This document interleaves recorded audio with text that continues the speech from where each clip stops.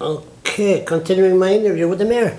Listen, you're a man of your word. That's why me and you get along so good. We speak our mind. Um, did you visit the shelter 2010? No. You still never been there. huh? How come? Well, I was organized, I was setting that up to go down and meet with, uh, with you, uh, remember uh, Mr. Duplessis, then shortly afterwards, I got word that Mr. Duplessis had left. Talked to him two or three times since. You uh, see a problem with the less fortunate? I always have, sure. You know, that that didn't that didn't come out right. is it, are they a problem or is is it is it a problem? You know, it's, it's a societal problem and one that uh, we don't, uh, we don't treat lightly. I mean, we certainly acknowledge it. Uh, Absolutely.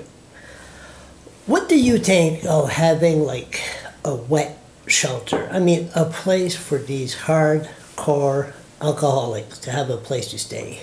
I don't know, uh, Charles. I mean, that's something that really has to be determined by by uh, so-called experts. Well, experts in the field. I mean, psychologists, uh, uh, psychiatrists.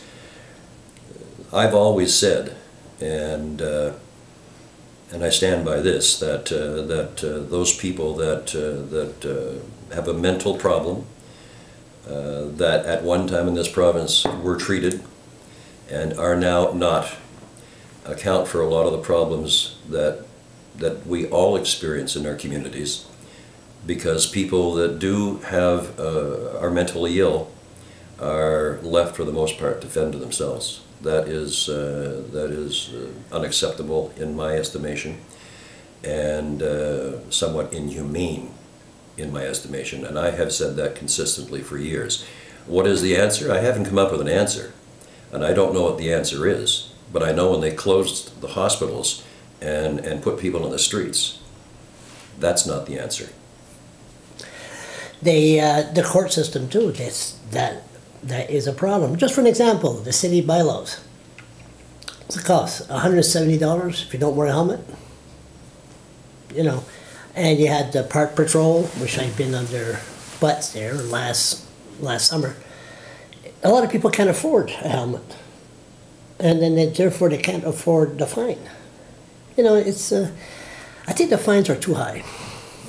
Well, you know, uh, there's a lot of people that use helmets and a lot of people that don't use helmets, and sometimes, every once in a while, somebody will get fined. There's a lot of common sense that is used by our police force. I mean, every time there's an infraction doesn't necessarily mean it's a fine. Sometimes it's a warning. Yeah. You know, it costs a lot less for a helmet than it does for a head injury at a hospital that puts you in the CAT scan. But I rode a center. bicycle across Canada and across the states. I had no, no, no helmet. I would not want people to to act like Charles LeBlanc. I don't think That's what happened to me. I don't think you set a good example, Charles.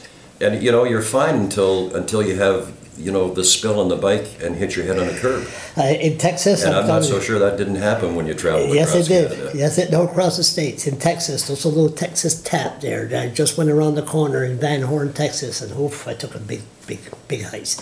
But no, I mean safety. I can understand, but that's a that's a provincial issue anyway. Because some province across Canada they do wear helmet. Some they don't. Many told you don't have to wear a helmet, and some you got to be 18 years and less. 18 I, years and I drove a motorcycle. I drove a motorcycle. Have you? Well, yeah, I, I had three motorcycles. Yeah. And I always wore a helmet. I've been in places in the United States where you didn't have to wear a helmet. I've also, uh, you know, listened to both sides of the argument on, on helmets and how a, how a helmet could be dangerous in the event of an accident because where it is on the neck, that it breaks the neck. But nevertheless, when I'm in a place where I didn't have to, I still wore it because I felt safer with it. I did not want to bang my head on the pavement if I had to lay the bike down or if I got struck. So I think safety is a personal issue, but uh, sometimes we have to be told that seatbelt's another. I mean, I was very offended that the province in New Brunswick was going to tell me I had to wear a seatbelt. So to get even with them, I started wearing a seatbelt a few months before the law came into effect. So uh, that way I felt I wasn't being told, but I feel comfortable wearing it. And I also appreciate the fact that if you're not wearing a seatbelt, most of the accidents and most of the fatalities that we hear about are people not wearing them. So it's a good idea. So a lot of times government does the right thing and they do it for the right reasons. Last point. Uh, you plan to visit the shelter this year for the first time? I'll go with you. Oh, you'll go with me. I'll okay. go with you, as long as you don't talk all that much. Oh, I can keep my, my, my mouth shut when I can. Okay. That would, that would take, uh, what's that tape called? Rutland.